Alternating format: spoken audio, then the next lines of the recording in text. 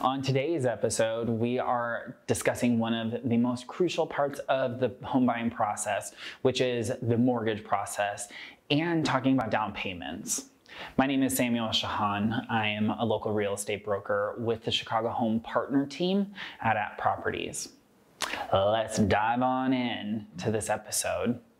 So, the mortgage process is actually probably one of the most important parts about the transaction of buying real estate. So we always want to connect you with one of our top lenders.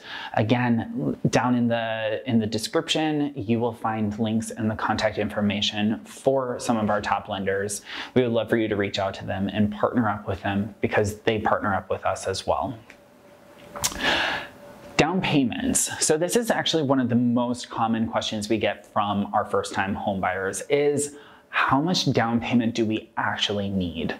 Um, there are a ton of myths out there. The myth is that you need 20% down. Now, that is a great myth because in the past, it probably was true. Decades ago, that was like what was required. Nowadays, there are different loan programs that are going to be out there. And that's going to be something that you're going to partner up with your loan officer to make sure that you're choosing the best mortgage product that's going to be appropriate for you. Now, when it comes to down payments, 20% is the golden child not going to say it's not. Uh, the reason why we say that is because if you have less than 20% down, you're going to pay what's called PMI, which is private mortgage insurance. This is an additional fee because if you're putting less than 20% down, it's a risk for the bank. So it's an insurance policy that says, hey, I'm going to make my payments on time. Now, PMI falls off naturally after 20% equity that you've built up in the property. So if you are putting 15% down and you have a 5% equity that you have to build up to get that PMI, it will naturally fall off. That's one of our normal questions that we get from our buyers. But that being said, 20% is not necessary. So the most, the lowest that most of our clients typically do is between 5 and 10%. So that is pretty standard for most first-time homebuyers. You know, in a world where everyone has a lot of debt from student loans, from credit cards, payment, car payments, rents are really high, uh, it's sometimes hard to save up for those down payments. So this is actually a great opportunity for you to get into a property. And honestly, what I always typically say with a lot of our clients is make extra payments on an annual basis. Uh, that will build up that equity and make that PMI fall off so much faster than you are gonna be by actually renting a property for another year or two to just save up that down payment. Now, the low end, there are different programs. So depending if you're a VA, you can get a 0% down loan. There are a couple doctor program loans that are out there that do 0% down.